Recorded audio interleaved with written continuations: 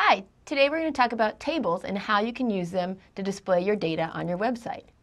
So, how I like to put it is that we really used to consider tables as being this evil kind of idea because people weren't using tables for the reason they were supposed to.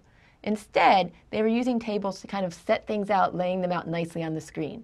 This started to happen back when, during the time of HTML2, maybe HTML 3.1, and people said, I really want my page to look nice, and I don't have a means to do it, so I'm going to make it a huge table and kind of lay everything out in different rows or columns.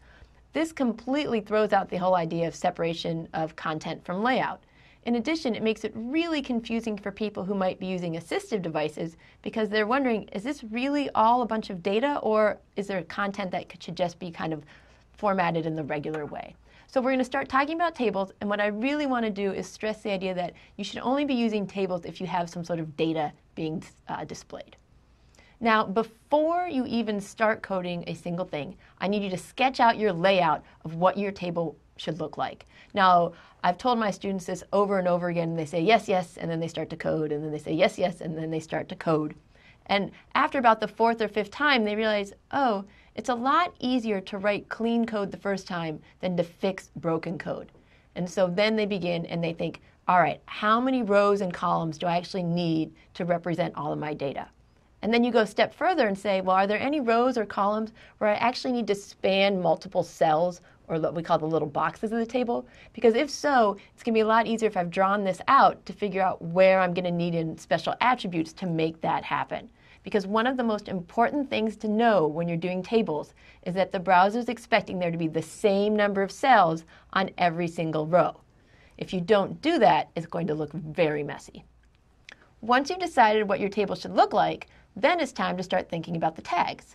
You start off with the table tag, and it's basically just a container element that's going to hold all the other attributes in, or all the other tags inside of it. You're going to have the table row, and then here for TD, I have columns, but what I really think would be best is to think of this as table cells, not really columns, because what you're doing is you're talking about each individual box. So inside the table, you're going to have one or more table rows, and then inside each table row, you're going to have one or more uh, TD elements, so the columns or the cells. So here's the code for creating a very simple table. Although it looks very convoluted and like there's a lot of things going on here, most of this is just information for the browser. When we look at the actual page that's generated, you'll see that it's very clean and simple. So I have my code for my table on the outside, and then each one of my lines of code here is one row. I have my tr start and my tr end. And then inside each row, I have three elements, one, two, three, which are inside the TD tag. And I'm going to tell you right now that when I initially wrote this code, it looked fine, but I'd kind of messed it up because I had forgotten to put in my ending tags. So make sure when you're coding these that you're being very clean and very concise. And if you do it correctly, this will create a simple table, as I said, with nine elements in it. One, two, three, four, five, six, seven, eight, nine. This is as simple as you can get as far as a table goes. Now, in some cases, you might want to add what we call table headings to your code. Table headings is the idea that at the top of each column or even at the top or the start of each row, you have some sort of text that's bold that indicates this isn't data, this is actually the name of the data that we're looking at. Now, it's fine, I mean, it's not fine. It's, what some people would do is they would just make these regular TD elements and then perhaps make them bold so the people who are looking at it can say, oh, hey, look, this is bold, so it must be more important. But we really want to avoid doing that. Instead of using a TD with some sort of bold font, we want to use the semantic tag TH, which stands for table heading. So here, these three lines of code are exactly the same as before, but I've added one new row where instead of TD, I have TH. So I have row 1, row 2, row 3, etc. And what you can see here is that what we get is this nice little table heading at the top of each one that is both visually lets the user know that these are headings, but also semantically conveys that same information. So one of the things I mentioned earlier when you're designing your table is you want to decide if you're going to be spanning multiple cells. It might be the case that the table you want to make isn't some sort of perfect tic-tac-toe grid or perfect 9 by 9 so you can combine multiple rows and or multiple columns using the row span and column span attributes. Inside your element, you would include row span equals 2 if you wanted to span 2 rows, or column span equals 5 if you wanted to have it span 5 columns. All right, so let me go ahead and show you an example with some code. And again, I realize, especially if you're looking at this on some tiny little screen, that this seems really like a lot of information to digest in. But it's not really that much going on. I have a simple table where I have my table headings with the child's name and then the parent's name.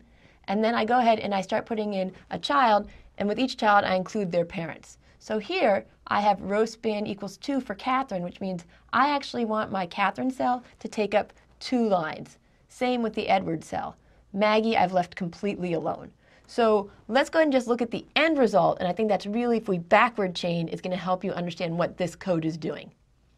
So again, I have the child's name, the parent's name, and here are the two cells where I did the row span, and you can see it actually took up multiple rows because in this case, Catherine and Edward both had two parents that we wanted to put it together with.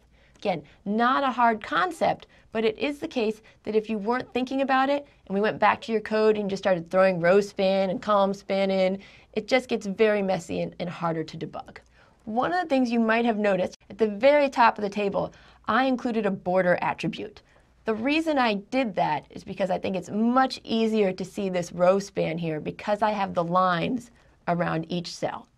So you can use the border attribute to go ahead and put lines in between each one of your cells. And it's very common to do that. But again, in your HTML, I try to avoid styling. It's something we can add later if you decide to learn more about CSS. But it's an attribute that's so commonly used, I wanted to go ahead and put it in there so you could see what was going on. Next, let's talk about captions. So how do we link text to a specific table? What people used to do is they would put in some sort of heading, H2 or H3, and they would put it right above or right below the table. Um, so visually, if you were looking at it, you could kind of figure out, oh, this goes with the table. But again, I really want to push you to use semantic tags. So instead of doing that, you can go ahead and use the caption um, tag inside the table, and it'll help everyone know that, oh, this caption goes with this specific table. So let's go ahead and review. Number one, tables should only be used for tabular data. Don't use it for layout. Two, draw your table before you code your table. It's going to save you so much heartache in the end. I promise you that.